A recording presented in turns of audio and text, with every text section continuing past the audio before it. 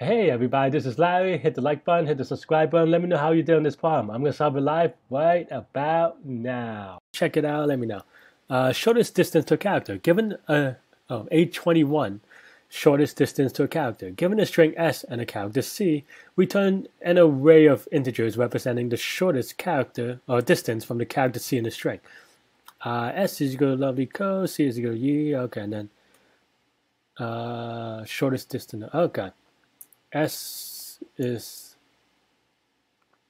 size of oh excuse me sad unlock premium million points? Uh, I don't have I'm, I'm almost to a t-shirt. That I'm excited when I finally get a t-shirt but but I don't have that many points yet. Uh, size of T is less than 10,000 C is a single character guaranteed to be S. everything is lowercase. Okay. Um so my first instinct is kind of just like a breadth first search uh, and then just kind of keep on going. But I feel like there's a easier way to do this, uh, maybe. But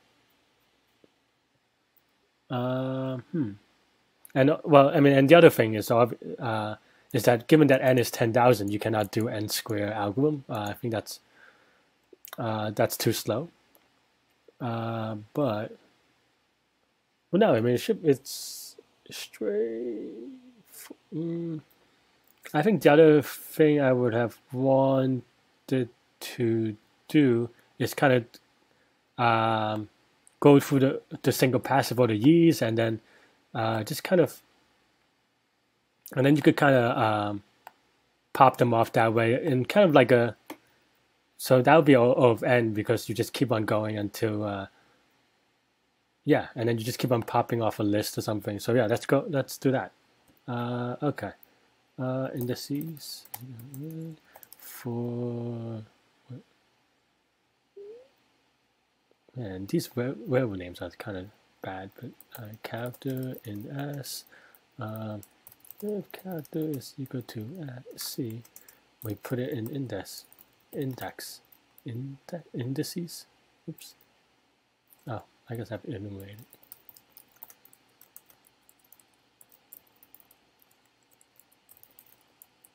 and then now uh, we could do it again. The second pass. Um, and I think we just need to compare it if with the first couple of numbers right? Actually let's use the collection start q just for me to dequeue easier but it doesn't really matter. You could actually use some sort of um, two finger algorithm here actually, but uh, but maybe that's fine too. Hmm, okay. Oh, and then just return the results when you're ready. Uh, okay, so what are the cases here? Um, okay. If index is smaller than indices dot zero, then we just uh, append that, right? Yeah, because that's the distance. Else if, if index is equal to indices dot zero, then well, zero. Else now we have to compare it from the zero index and the first index. Um, so we start append min of uh, uh, mostly because I'm lazy, so it should be x and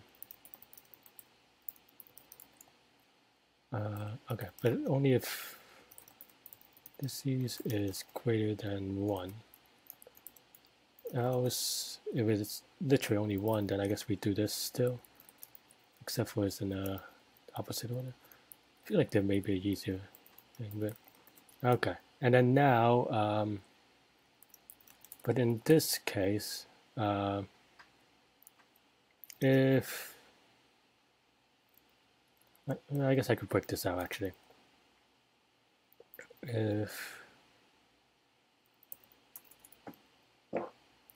index minus indices of 0 is less than index 1 right? Index. I guess this is actually not necessary. I think this I think this is a invariant that should be true but uh, so this is the case then we sort of uh, index right index zero. Otherwise then we one minus index.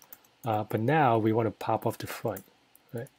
That's the uh, critical difference. Uh, pop left. I think that's maybe all the edge cases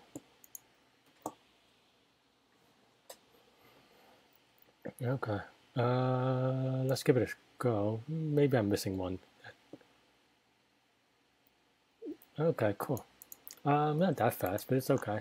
Uh, probably didn't need to actually put in. Uh, but uh, but yeah, so this is linear time because we go through each character uh, once up here, and then again a second pass here, uh, and each number only in indices gets popped once, uh, or at, most once. Um, so yeah, O of n time, of n space. Uh, can we do better than that? Um, Mm, can I do an O of one space? Probably not. Not at least with O of n time. Um, maybe you could do some stuff with binary search, but but then it becomes n log n time with log n space maybe. So I don't know, but uh, but yeah, I'm not gonna stress too over it. But uh, it's actually kind of a little bit. Hmm, what I want to say was this is actually a little bit hard for a easy problem. So maybe there's a easier answer to be honest. Um, hmm. That is a little bit odd, but maybe not. Because the breadth first search rate is also not that much easier either. Uh, I don't know. But yeah, but overall, um, it is a an application of the sliding window, which I think is uh, standard. So uh, standard to expect for uh, interviews, um, whether I like them or not.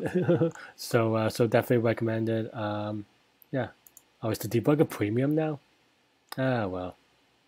Didn't you really use it that much anyway. Uh, but cool. Yeah, that's why I for this farm. So.